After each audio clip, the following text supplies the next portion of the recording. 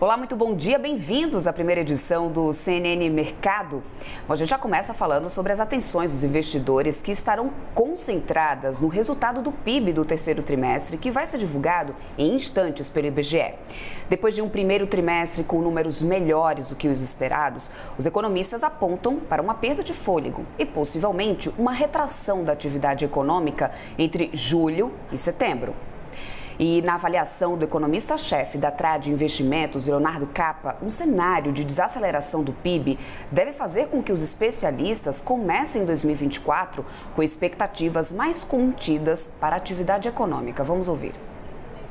Difícil cravar agora qual que vai ser, né, se o número vai ser um pouco abaixo ou um pouco acima do consenso. Que a gente tem, eu vou citar como exemplo dos dados mais recentes que a gente acompanha, a gente teve a produção industrial já de outubro, é verdade, mas veio um pouco mais fraca, com revisão para o dado de setembro na margem, 0,1% a menos de crescimento do que os economistas esperavam. A gente não sabe o quanto que isso ainda uh, já foi refletido nas expectativas.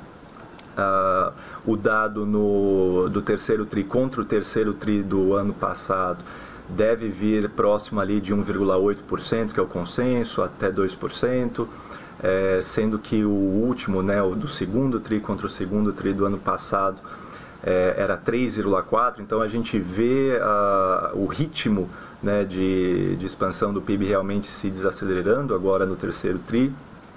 Reflete um pouco também o debate para 2024, né, que mais uma vez os economistas vão começar o ano com uma expectativa de PIB bastante comedida e uh, vendo quanto que isso se reflete. Né? Nos últimos anos a gente sempre teve surpresas mais positivas no, no PIB, vamos ver aí para 2024.